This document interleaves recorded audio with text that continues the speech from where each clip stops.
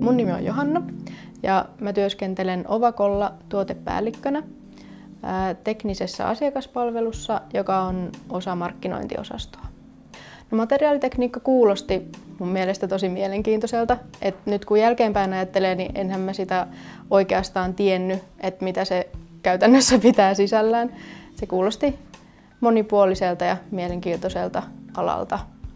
Sitten oikeastaan kun mä aloitin opinnot, niin selvisi vasta, että mitkä kaikki on ne vaihtoehdot ja sitten oikeastaan niin kesätöiden kautta kiinnostuin terästeollisuudesta ja terästen valmistuksesta ja sille tielle sitten lähdin.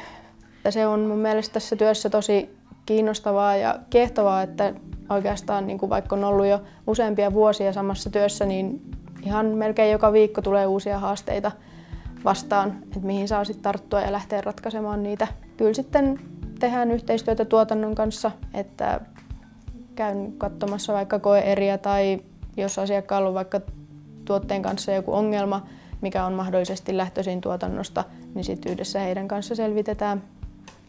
Ovako valmistaa teknologisesti korkeatasoisia erikoisteräksiä, esimerkiksi koneenrakennukseen, autoteollisuudelle, öljy- ja kaasuteollisuuteen.